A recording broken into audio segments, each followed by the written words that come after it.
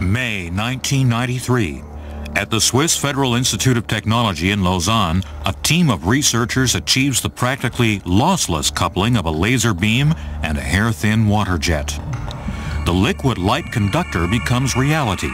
It's the birth of a new material processing technology, the laser microjet.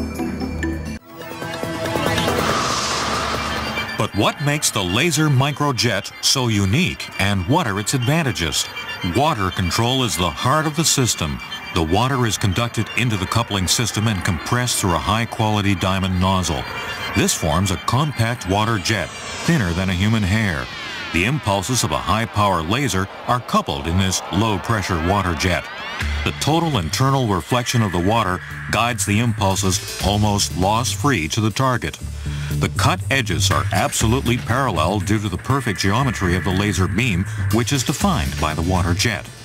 The water cools the workpiece and prevents the heat damage typically resulting from laser cutting.